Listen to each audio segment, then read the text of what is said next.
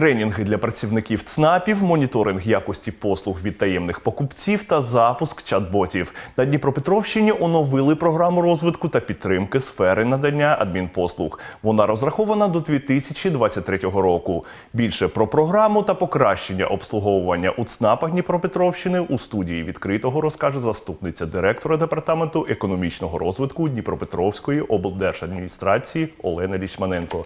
Доброго дня, пані Олено. Добрий день. І для початку розкажіть більш детальніше про оновлення програми розвитку та підтримки сфери надання адмінпослуг. Ну дійсно, 26 лютого наш депутатський корпус Дніпропетровської обласної ради затвердив вже оновлену програму з 2021 до 2023 року. Чотири основних напрями розвитку сфери надання адмінпослуг, 31 захід, які фінансуються за рахунок коштів обласного бюджету, місцевих бюджетів, державного бюджету, ну і інших джерел, які у нас дозволені чинним законодавством України. Доволі часто від посадовців можна чути такі слова, що ЦНАП е, це така собі, знаєте, наступна ланка еволюції з якісного надання адмінпослуг. Чи дійсно це так?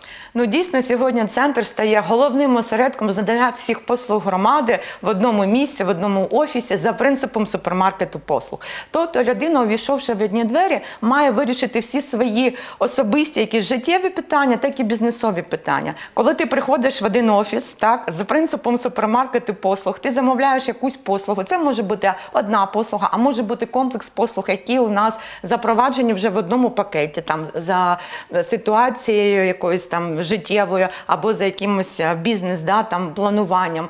І ти подаєш одній посадовій особі всі необхідні папери, і далі все рухається вже без твоєї участі, і все, все весь цей процес супроводжує саме ця посадова особа, яка здійснювала прийом документів. І після того, як уже все відпрацьовано, наші мешканці Дніпропетровщини отримують смс-повідомлення і вже приходять забирати оформлений результат, якщо він необхідний в паперовому вигляді, знову ж таки в центр надання адміністративних послуг. А відомо, що Дніпропетровщина була лідером в Україні за кількістю ЦНАПів. Е, Чи зберігає регіон е, лідируючі позиції? Е, 8 там квітня ми відкрили 63-й центр у Петриківці, а сьогодні в нас додалося ще два центри. 20-21 числа це сільські громади, Дубовиківська сільська рада, Грушівська сільська рада, і вже в нас таким чином 65 центрів. І таким чином з цього року, вже з початку цього року, ми відкрили 9 ЦНАПів і 3 філії таких центрів на Дніпропетровщині.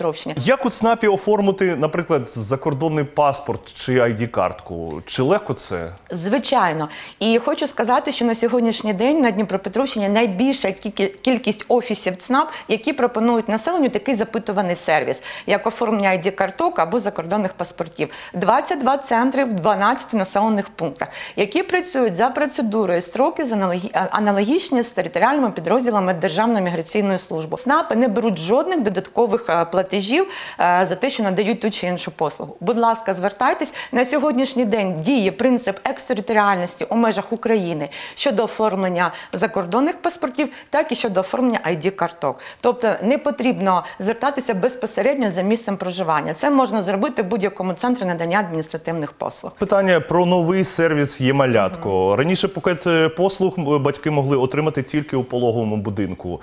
А тепер це можна зробити і в ЦНАПі. Як саме і чи в усіх центрах області? Ну хочу сказати, що у нас 52 центри надання адмінпослуг дійсно отримали доступ до порталу Дія для того, щоб надавати цю комплексну послугу є малятко е, батькам новонароджених малюків. Через СНАП Дніпропетровщини надано 126 таких комплексних послуг. І що дуже вражає, що саме ця послуга є запитуваною в сільських територіях. Томаківська громада, Межівська громада, навіть Сурсько-Литовська громада, яка поруч з містом Дніпром, вона невеличка, також надала такі запитувані послуги батькам новонароджених малюків. І це дійсно той е, сервіс, який е, має максимально поширюватися, і саме за такою процедурою мають надаватися всі послуги українцям. Пані Олено, ось таке нагальне питання: як ЦНАПи області працюють в умовах коронавірусної пандемії? Ну на жаль, да, всі ми зараз стикнулися з такою неприємною ситуацією. Будемо сподіватися, що все буде гаразд, і швидко ми все це подолаємо. Буквально а, у нас, от на на минулому тижні були закриті два центри в Солонянській громаді, Васильківській громаді. Вже я рада повідомити, що вони відновили свою роботу. Як вони закриті? Вони не працюють офлайн, але вони працюють в дистанційному режимі. Тобто ем, заяви та пакети документів до них можна направити поштою, кур'єрською поштою, і також, якщо це можливо, в електронному вигляді. І вже там в бек-офісі будуть відпрацьовувати. Ну, поки тримаємось, е, будемо сподіватися, що ЦНАПи закриватися не будуть, і весь персонал центру, які наші мешканці будуть здорові. Пані Олено, дуже вам дякую за розмову. І я вам дякую. Сьогодні у нас у студії була заступниця директора департаменту економічного розвитку Дніпропетровської облдержадміністрації Олена Лічманенко. Говорили про розвиток сфери надання адмінпослуг у регіоні.